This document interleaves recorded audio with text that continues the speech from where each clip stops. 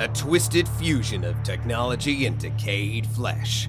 Strogg and his AI drone, Peeker, find themselves cut off from their homeworld of Stroggos.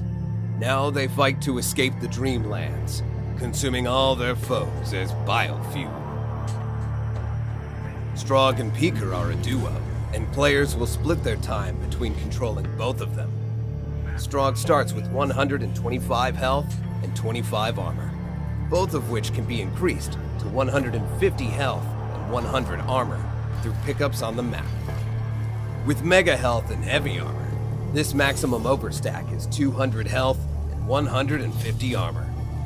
Strogg's active ability is Peeker. Using this ability cloaks Strogg and gives players full control over his flying drone buddy.